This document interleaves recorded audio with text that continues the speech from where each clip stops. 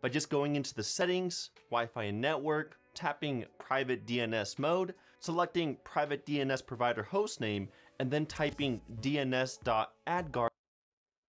Okay, let's see if that works. Phone.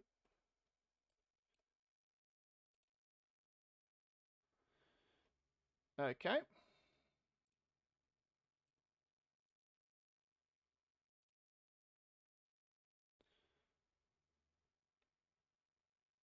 Oh, would you look at that? Ads. It's like it doesn't work. Ah. More ads. That don't work. Yeah. This individual is lying.